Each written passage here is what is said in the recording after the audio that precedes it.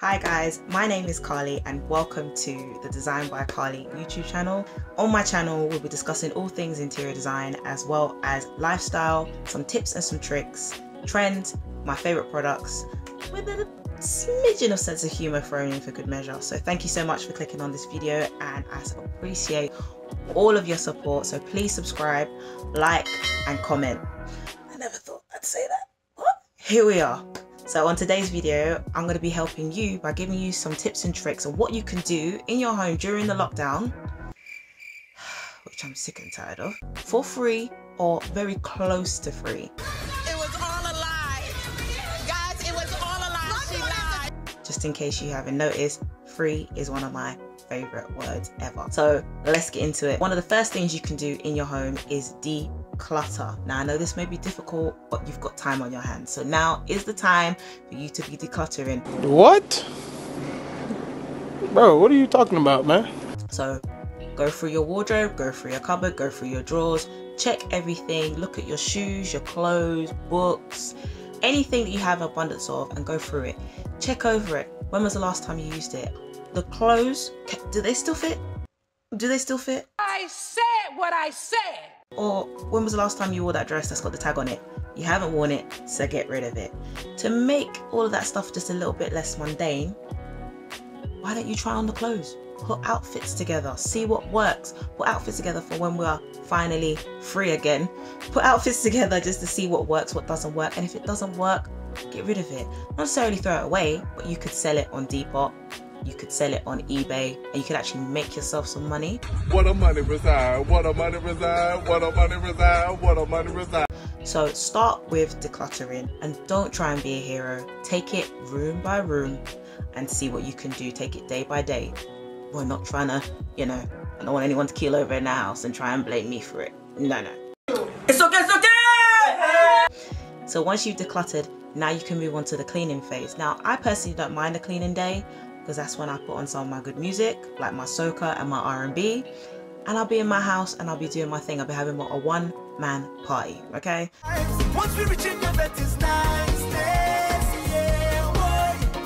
So have a good clean.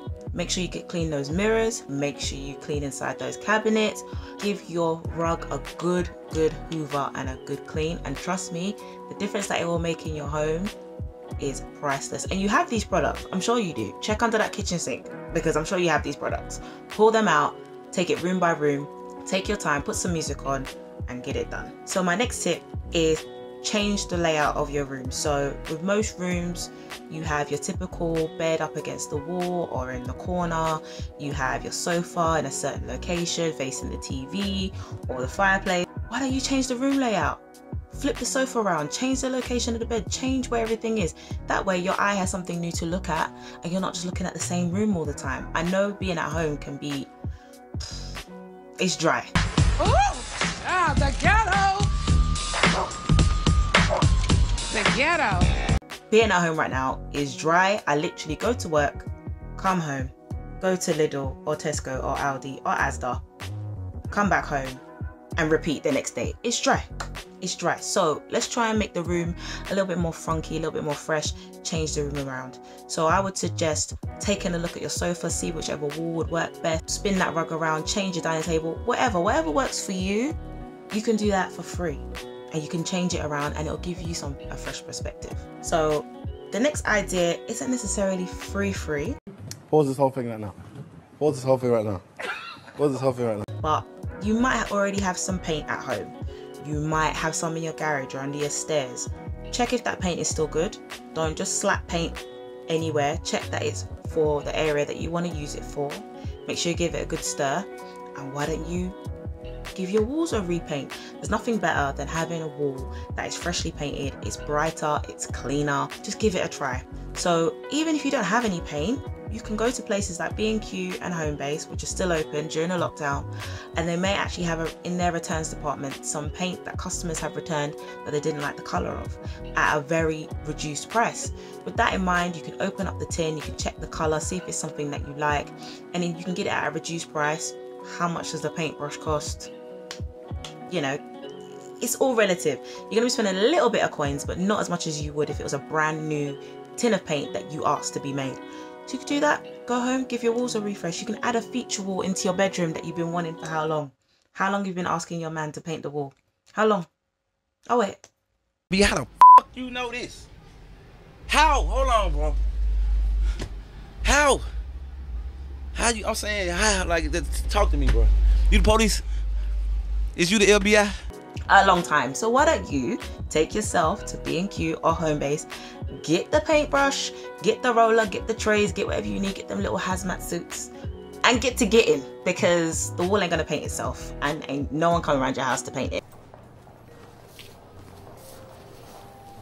So give your bedroom that nice feature wall behind your headboard. Give the living room a nice feature wall behind the sofa. All these things make a difference and I guarantee you only cost you just a little bit of money. Another idea that I'm suggesting is all of these photos that you've had in your house or on your phone I should say, all these photos that you've had on your phone for ages that you really want to showcase in your home, print them. Print them. You can buy some frames online from IKEA or from Dunelm. You can frame them. Make sure they've got a mount inside the frame. So this is another tip to make your frame just look a bit more expensive. If you've got a black frame or a white frame, silver frame, whichever frame you want, make sure that it has an internal mount inside of the frame that will actually frame your picture. So you have your picture, a mount, then the frame. It'll make it look a little bit more expensive and won't look like you've printed it at home or at work. You know, I won't tell anyone if you don't tell anyone. Um, yeah, just have a mount inside and make it just a little bit more expensive. Also another tip, if you print all of your pictures in black and white and then put them in a black frame, makes it look even more classy. Or don't try and mix different colors of picture. So it's either all color or all black and white, all the same frame. And then you can create a little gallery wall behind your sofa, behind your bed, in your entranceway, going up the stairs. This is something you could do where you don't actually have to nail anything in the wall, make holes in the wall. You can use command strips. As long as the frame is not too heavy, you can use command strips. Command strips, you can order them off Amazon, you can order them off eBay. You could probably get them in Homebase or B&Q while you're getting the paint. You could probably get the frames from Homebase and B&Q.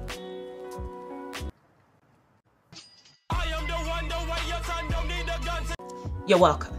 Okay, so my last and final tip is to try and add a little bit of trend into your home.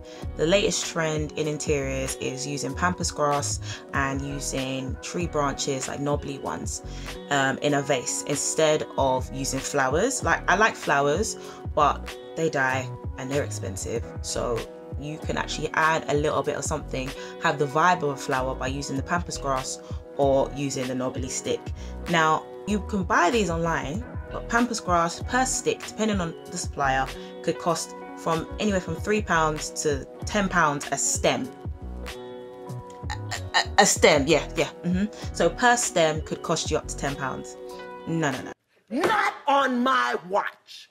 I would suggest when you're on your walk, depending on where you live, your daily walk when you're out with your loved ones, have a look around your area. Pampas grass tends to grow around wet areas like ponds and rivers and things like that.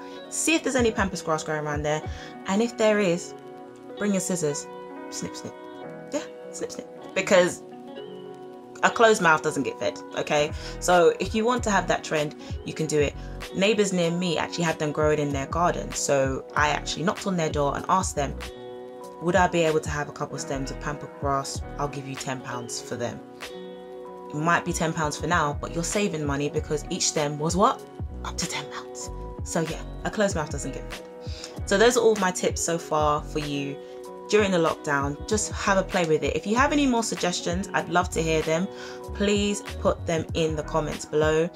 I'm open to any feedback, any suggestions of any content that you guys would like to hear or see from me. This is a new journey for me, so I'm really open to whatever suggestions anyone has. Uh, please subscribe, please like, and please comment because that does help with my algorithm. And I look forward to seeing you on my next video because there will be more. Take care of yourself, take care of your family, and take care out there. And thank you for joining me. Mwah.